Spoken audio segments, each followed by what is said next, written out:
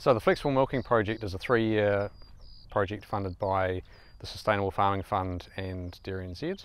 And the, the premise of the project is to investigate the um, people, farm systems and um, animal effects of milking three times in two days. So the main aim of the Flexible Milking Project is to give confidence to farmers and advisors in how to optimise and, and, best use 3 and 2 milking uh, to best fit their individual circumstances.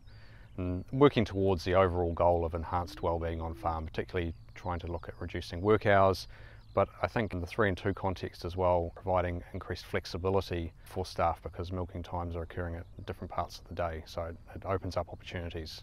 So there's four main activities over the, the course of the flexible milking project.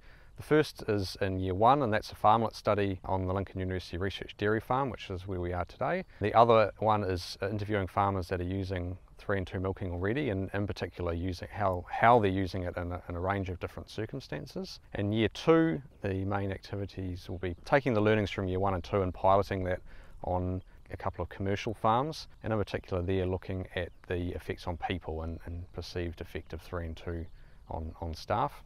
And the other activity there will be another experiment looking at the range of flexibility that we've got in terms of the actual milking intervals. So 3 and 2 originally started at 16, 16, 16 hour intervals and that's sort of evolved now to the most common one being 12, 18 and 18. But what's to say at different times of the year we couldn't be using 10 and 19 and 19 or even throwing a 20 hour milking interval in there in the weekend to effectively get a once a day weekend. Year three of the project, the last activity there is some modelling work, which is our opportunity to address any unanswered questions that haven't been able to address in other parts of the research. The first year there will be fortnightly updates from the farmlet study here, so head online to dairynz.co.nz slash 3 and 2 to sign up to receive those.